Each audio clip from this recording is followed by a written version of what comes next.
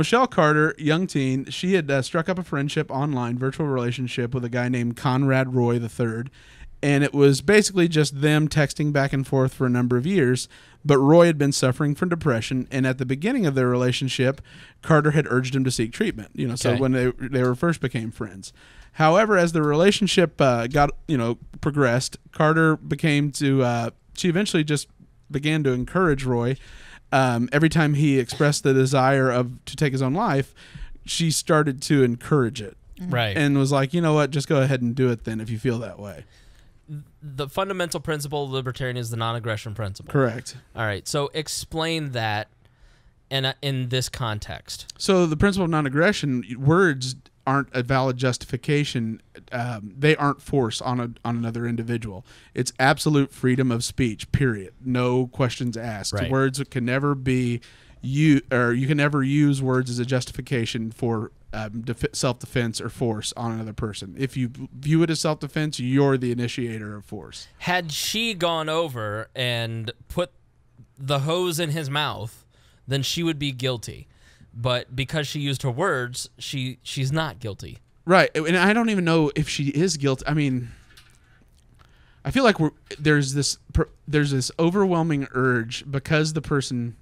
This sounds very cold, but this this it, it's like essentially absolving this individual free will.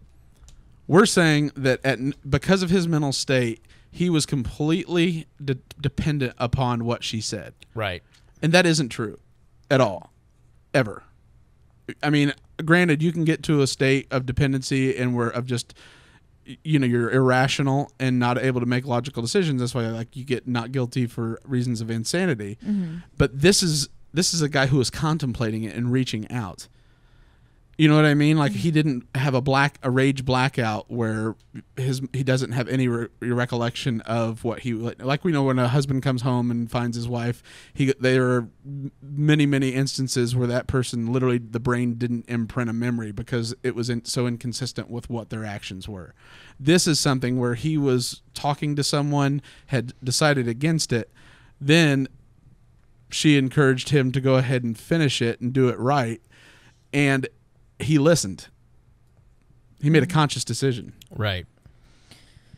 It's a horrible thing. I just don't think she should have to serve. I don't think. I think she did a, a moral crime, a humanitarian crime. Mm-hmm. I don't think she committed a legal crime only because if we're going to extend it that far, this podcast could incite someone. The guy that went and shot the Republicans, if he was listening to a progressive version of this website, then they provoke. You know, the podcasts and the news sources he was listening to because he gave them such authority.